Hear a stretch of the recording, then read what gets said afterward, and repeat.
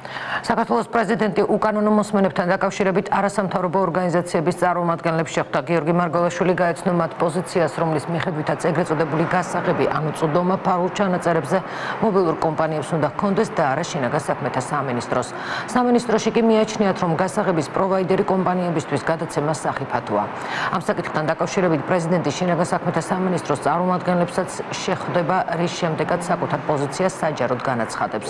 დღეს მარგოლაშვილი დავოსის ეკონომიკურ ფორუმზე მიპატიჟებასაც გამოეხმაურა ის მიესალმება შვეიცარიაში ქართული დელეგაციის პრემიერ-მინისტრის ხელმძღვანელობით გამგზავრებას, თუმცა არა კონკრეტებს თავად აპირებს თუ არა დავოსში წასვლას. ჩემთვის მნიშვნელოვანია რომ დავოსში იყოს წარმოდგენილი ქართული დელეგაცია.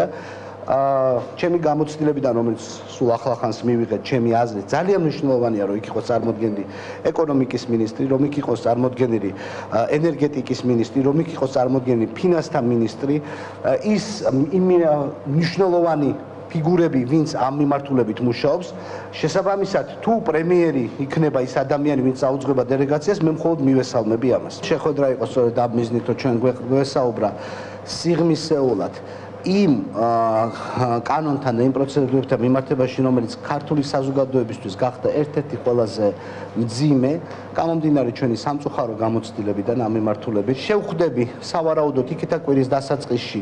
უკვე შინაგან საქმეთა სამინისტროს წარმომადგენლებს, ჩვენ მათ მოვიწვევთ შეხვედრაზე და მე მათ პოზიციასაც მოვისმენ ამ საკითხთან დაკავშირებით, რის შედეგადაც ბუნებრივია ჩამომიყალიბდა უფრო კომპეტენტური პოზიცია თვითონ მე. ჩვენ ვთხოვეთ პრეზიდენტს, რომ საზოგადოების ინტერესი გაითვალისწინოს და ასევე ის და გაითვალისწინოს ის პრაქტიკა, რომელიც არსებობს განვითარებულ ქვეყნებში, აი ზუსტად ამ მოსმენებთან დაკავშირებით. უნიშნელოვანესია გადაწყვეტილება იქნეს მიღებული ისეთი, რომელიც ქვეყნის უსაფრთხოებას არ დააზიანებს და ამავდროულად ადამიანის უფლებების შელახვას არ გააგრძელებს.